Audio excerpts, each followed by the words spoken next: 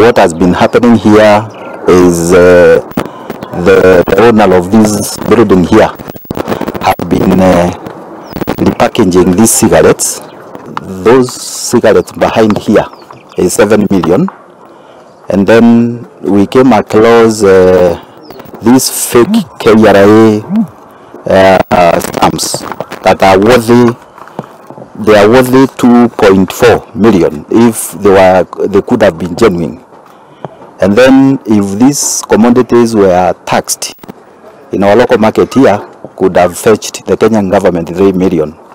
So in total we are losing uh, 12.4 million in this business. We have uh, heightened our operations in terms of uh, counter counterfeit and diversions of uh, these commodities that are supposed to be on transit, but finding back their way to the Kenyan market. The owner of this building ran away, uh, but I don't think you'll be learning very far. We have uh, his details, and therefore we'll uh, continue with the crackdown on this illicit trade.